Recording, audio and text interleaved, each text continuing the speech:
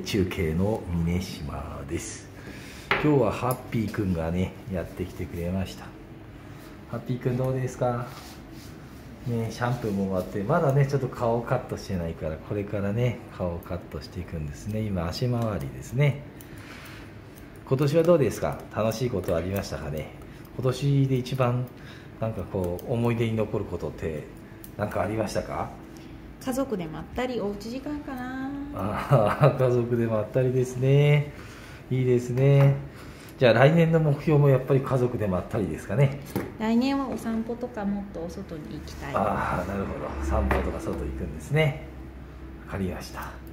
じゃあこれで年越しの準備も整いましたのでね。クリスマスとかお正月が楽しみですね。また来年もね頑張りましょう。以上ハッピーくんでした最後にご家族に何か一言。早くお顔イケメンにして。はい。以上中継でした